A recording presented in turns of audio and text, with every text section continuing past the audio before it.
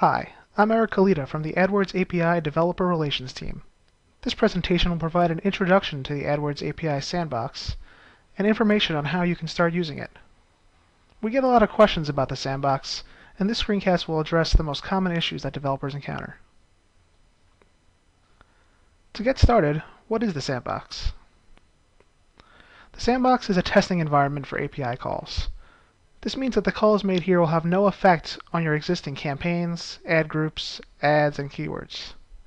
The sandbox is open to everyone, and it doesn't require any tokens to use. Best of all, it's free. All you need to get started is a Google account, and you may already have one. If you've already signed up for AdWords, Gmail, YouTube, or similar Google services, you have everything you need to start using the sandbox today. If you don't have a Google account, you can create one from any email address. So how do you use the sandbox? For authentication, use the login and password of the Google account you selected. The authentication method is the same as in production. For v13, this means an email and password header, and for v2009, this means generating an auth token. The key difference between requests made to production and sandbox are the header values. The sandbox automatically generates five client accounts based on the Google account you chose to log in with.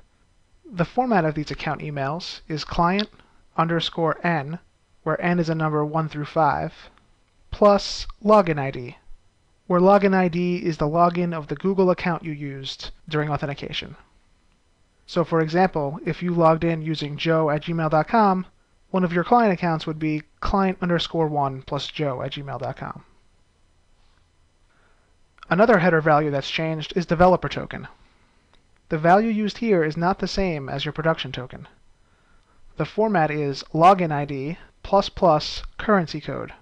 You can look up the full listing of currency codes on the AdWords API documentation. Finally, the header application token is ignored by the sandbox, and you can leave it out of the request completely. Requests made to the sandbox must be submitted against a different URL than production.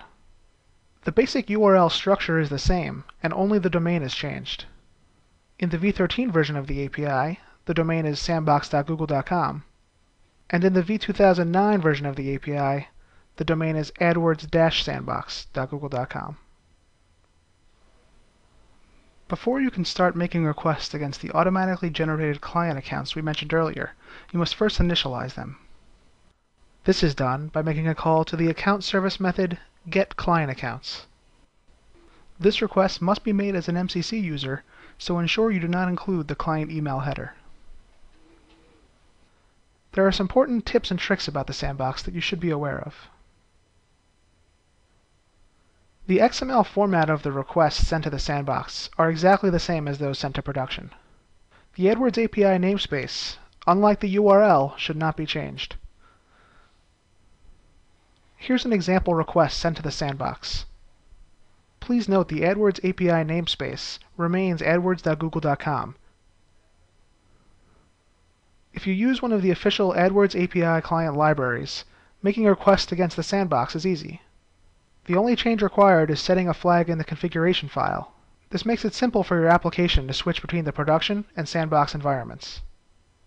Each library uses a slightly different flag, so consult the README file that was included with the library.